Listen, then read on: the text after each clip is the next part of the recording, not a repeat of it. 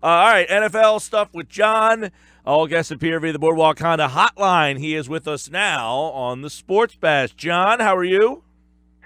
Doing well, guys. You're burying the lead there. The important part is Philadelphia teams don't lose now. That's right. So that's all that matters. Philly teams don't lose. The Sixers are unbeaten since the Super Bowl. The Flyers haven't lost since the Super Bowl. Um, and now the Phillies haven't lost. This is unbelievable. What a time. Dominating the University of Tampa. hey, a couple years ago, they lost that game. Um, let's get into your story at 973ESPN.com, where you write that Doug Pederson basically squashed any quarterback controversy. I don't know that there was one, but yes, there are people out there that think, hey, Nick Foles should be the guy. He was the MVP of the Super Bowl.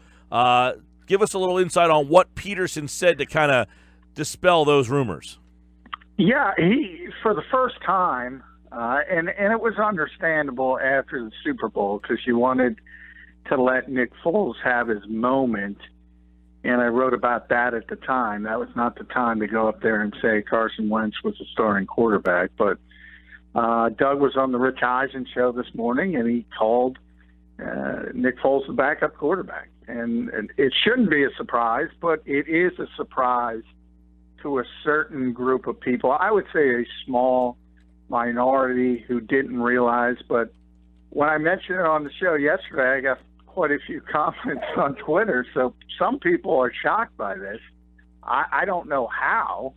Did they not pay attention uh, to the first 13, 14, you know, 13 plus games Carson Wentz played uh, to think that he wouldn't be the starting quarterback of this team when he was healthy? But evidently there's those people that are out there. Oh yeah, I had people uh, tweeting at me that said that Pederson should announce that Foles is the starter now until Wentz is healthy enough and ready to play. And there's a lot of people, you know, John, I don't know if you have any more information regarding Wentz's injury, but, you know, there is some people that think it's worse than it was originally. We kind of touched on this yesterday, but Josh was telling me that some people that equated to around what Robert Griffin III went through.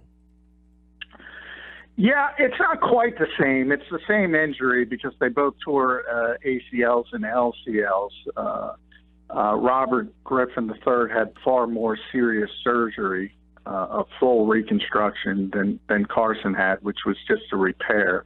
So I think that's the key in the difference. But uh, I kind of mentioned on the show yesterday when Carson said it, it didn't affect uh, the timetable according to doctors I've talked to, it does affect it, and it turns uh, a six to nine month injury into a nine to twelve month injury when you have to rehab both of those ligaments. So there is a little bit of a difference. He also uh, got a little meniscus repair, although that doesn't really change things that much.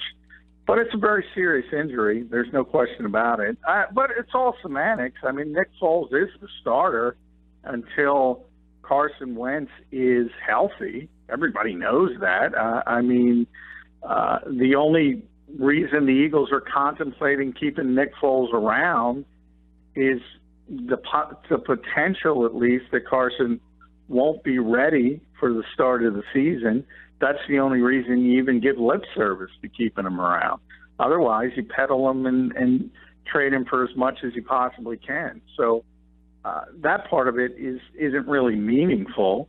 Uh, but for people who think there should be some kind of quarterback controversy, a there shouldn't, and b there isn't. John, in the times that we've seen Carson Wentz since the injury, does he appear to be ahead of schedule, on schedule? Because I know there's, I mean, it's like uh, breaking down what size boot he's wearing. There's a lot of scrutiny of Carson Wentz every time that you do get eyeballs on him.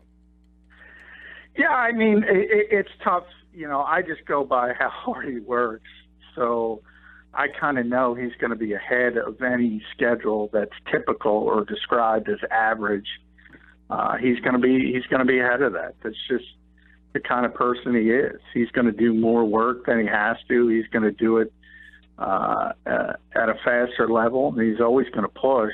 Uh, so from that standpoint, I don't think you have to worry about it um, all indications from everyone that spoke, including Carson himself, uh, he's he's making significant progress. He admitted it's difficult. It's always difficult Uh, it's painful injury, obviously, after the surgery. Um, and I, I think always with ACL operations, it's it's more about the mental hurdle than the physical hurdle. They can repair it. They've they've uh, improved enough enough from a medical standpoint that you know it's going to be well done uh, in the surgery from the surgery aspect. Uh, but the mental hurdle is always a significant one for any athlete. And as for uh, Pederson's comments to Rich Eisen, do you think uh, Foles even batted an eyelash at that, or did he already feel like you know, well, yeah, sure, that makes sense to me. Yeah. No, yeah. I mean, Nick has admitted it. I, I mean, Nick is not one pushing the agenda that there should be a quarterback controversy. Nick has always deferred to Carson Wentz, uh, continued to defer to Carson Wentz, really, even after winning the Super Bowl. Uh, he understands this is his team, uh, and that's how it's going to remain. The only question is, you know, how much does Nick want to be a starter in this league this season? Uh, and if he does, um, and, and if he pushes for that, perhaps that could speed up a trade. Um, but the only way he's going to be the full time starter here is if something drastic you know, goes in the drastic direction as far as Carson Wentz's health. I thought uh, the interesting comments from that interview as well were that Pederson said, "I truly believe if he's healthy, I still feel strongly that he would probably be the, uh, we would be in the Super Bowl, win the Super Bowl with Carson, and he's the MVP. That's just the way he played last year. So essentially, he's saying." That uh, yeah, he would have been the MVP of the Super Bowl. We would have made it to the Super Bowl, and all would have been the same. Which I think most normalized brains would probably think the same way. But that goes back to the Polian comment of Foles is looked at as an icon because he was able to do something that people view that nobody else could do, possibly including Carson Wentz. Yeah, I mean, he did it. That's the reality. I, I mean, I, I we talked about it a lot. The hurdle to get to the Super Bowl is much easier, and and I mentioned in the piece, if you think about it, uh, the underdog narrative that that was such embraced by the Eagles themselves and also the fan base. That doesn't exist if Carson Wentz doesn't get hurt because they're significant, significant favorites over Atlanta and Minnesota in the playoffs if Carson Wentz is there.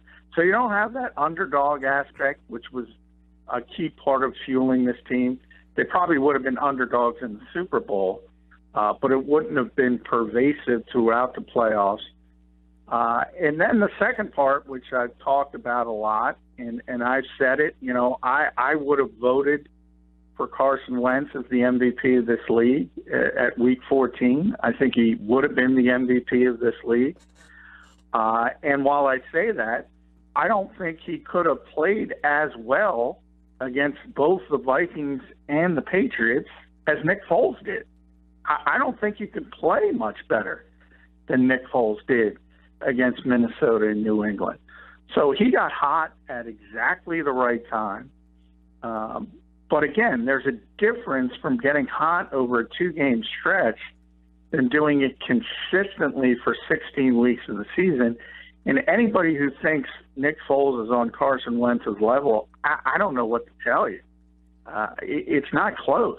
Well, I'm glad you brought that uh-huh. up, John, because uh, that, that's what I want to ask you about is some of the people that are out there thinking the Eagles can get high draft picks if they do offer Nick Foles and somebody's going to give, you know, the Bill Polian stuff is outrageous, but even a number one pick, I mean, can you use Jimmy Garoppolo and what the Patriots did as sort of a, a, a gauge or, or an indication of, of what teams they're not willing to give up first round picks anymore? Garoppolo, they, they asked for a first and a fourth, and it eventually took a second for them to finally make a move, but uh, nobody was going to give up a first and a fourth, and Garoppolo was an established guy.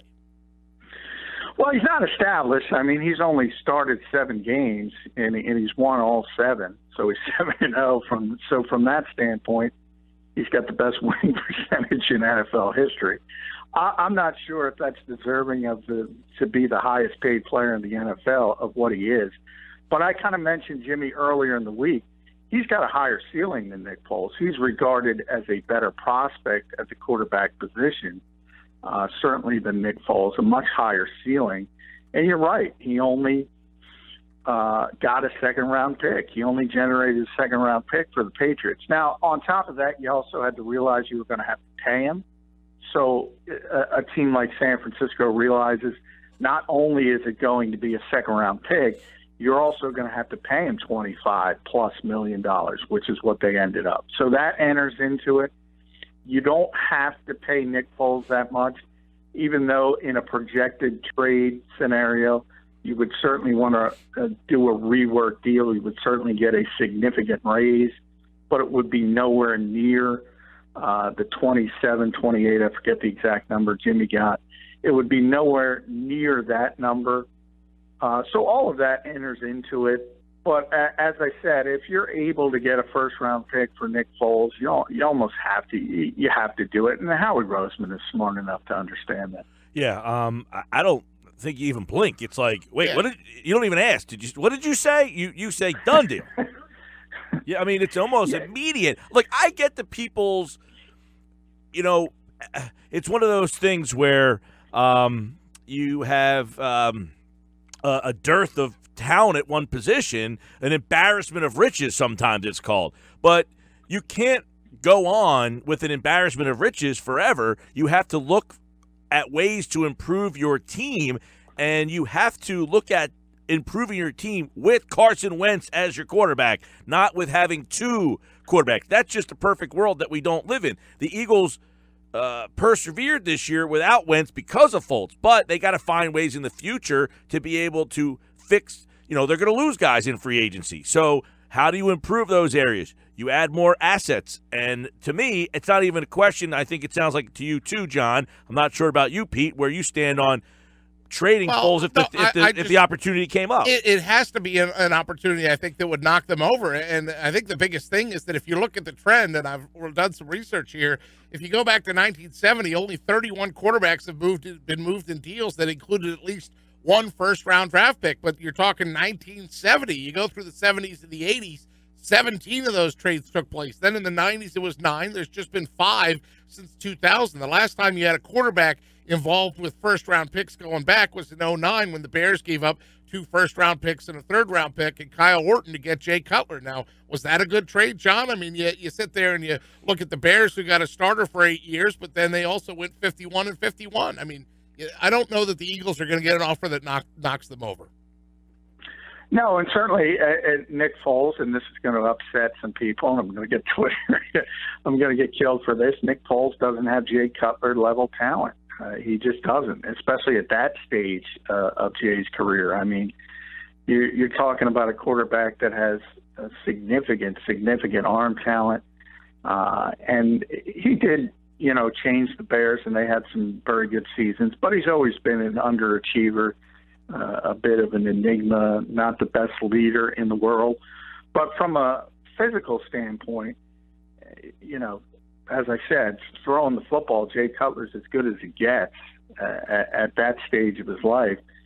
And, you know, people are enamored when they see that kind of talent. And you see it all over the NFL. And potential uh, is often the word that gets coaches and general managers fired.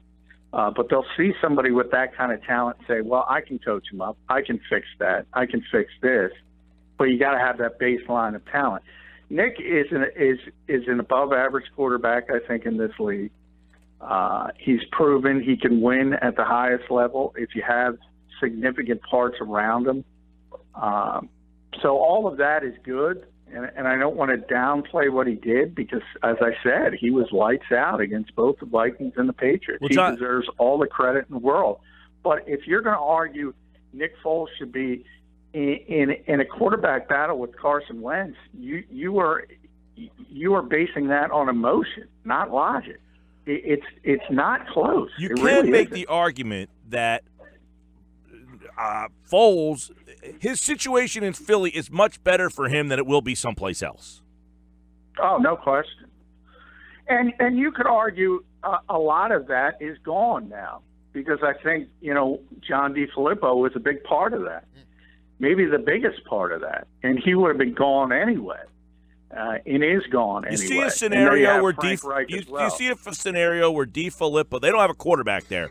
Do you see a scenario where DeFilippo – talks to his brass in Minnesota and says, you know, let's do what we and maybe not even as a starter. Maybe they bring him in in a similar situation. No, for a couple of reasons. One, John has already spoken, and he's he's talked very highly that in today's game, he thinks to win consistently, you need a quarterback that has uh, at least functional mobility in the pocket uh, and his ability to extend plays. And, and while Nick did that well at times, that's not a strength of his game. That's number one. Uh, and number two, if you look at Minnesota, that's the same team that obviously traded for for Sam Bradford and is probably embarrassed by that trade in the fact that they were on the cusp of the Super Bowl. The Eagles routed them. Uh, obviously, Howie Roseman got the 14th pick in the draft, which turned out to be Derek Barnett, who made a big play in that very game, uh, stripping the football. So I, I don't think Rick Spielman would want to go back into sort of battle with Howie Roseman, give him another first round pick for Nick Foles. I I just can't see that happening in, in a million. Right, let years. me ask you this then: What is like the demarcation point of where you would say no? For for Nick Foles, If I'm another team and I call you John McMullen in the role of Howie Roseman slash Joe Douglas, and I say I will offer you a third round pick. Do you do you consider it, or what's the part? Where is the, No, the mark where you no. say It- it- absolutely it- not? Absolutely not for a third round pick. You need at least a second round pick. And I think, you know, the, the Bill Polians and, and the Peter Kings of the world are actually helping the Eagles. Uh, and I think there is the possibility that somebody could get in a desperate situation after the draft, and perhaps they don't get the quarterback that they've sort of had a, a focus on and all of a sudden they might offer a future first round pick. So I think that's what Howie's going to do. He's going to wait. He's going to do the same thing when he traded Sam. He's going to wait for a team that's desperate and to come calling and overpay. That's what he's looking for. That's what he wants. And the worst case scenario is that you have a, a, the safety net you had this year, which is not the worst thing in the world. Yeah, an embarrassment of Uh. Yeah, and he can do that for one more season. Uh, he's not going to be able to do it past then. So that to me is the bigger question. Uh, you kind of understand this is it. So, and and as I've said multiple times, Nick Foles' value is never going to be higher than it is right now. So that's the decision you're weighing. Take advantage of that environment, or or keep the band back together have the embarrassment of riches for one more year, try to go win a second Super Bowl. Uh, that's really the question. So, John, you think it boils down to this? I mean, you've got backup and Super Bowl MVP, two terms that don't usually go together. And when they do, it kind of means that one or the other is either faulty or a fluke. So, if you say what Nick Foles did in the postseason wasn't a fluke, well, then he's not really a backup. I mean, this is kind of the, the quandary that people are out there. And if he is a backup, then can he uh, duplicate his heroics? Well, I, I think he could duplicate it in another this type situation. I, I, if you're asking me, can Nick Foles start from week one and win the Super Bowl? No, he couldn't have done that this year. Uh, you know, people, I understand why you're on the high of winning the Super Bowl, but you also watch Nick Foles at the end of the regular season. You also watched him against the New York Giants, the Dallas Cowboys, the Oakland Raiders. You, you know, only one game was he even competent, and, and that was against the Giants. Uh, there is no way the Eagles are in the position they are if Carson Wentz doesn't do all the heavy lifting to put them in a position to get the top seed in the NFC. Uh, and if they don't have the top seed, I don't think Nick Foles goes on the road and beats Atlanta. I, I don't think he goes on the road and beats the Vikings. I really don't. So if you're asking me the question, can he start from week one and win the Eagles a Super Bowl or anybody else for that matter? The answer is no. Can he come in and, and be the closer and finish? He's already proven he can do that. All right, Johnny Max got more on the Eagles and the NFL right now at 97.3ESPN.com. Follow him on Twitter at JF McMullen. His story on Alshon Jeffery, uh, of course, who will uh, get shoulder surgery this offseason, and uh, Doug Pederson's comments this morning uh, regarding his quarterback situation in Philadelphia. It's all at 97.3ESPN.com. Thanks, pal. Hey, thank you, guys.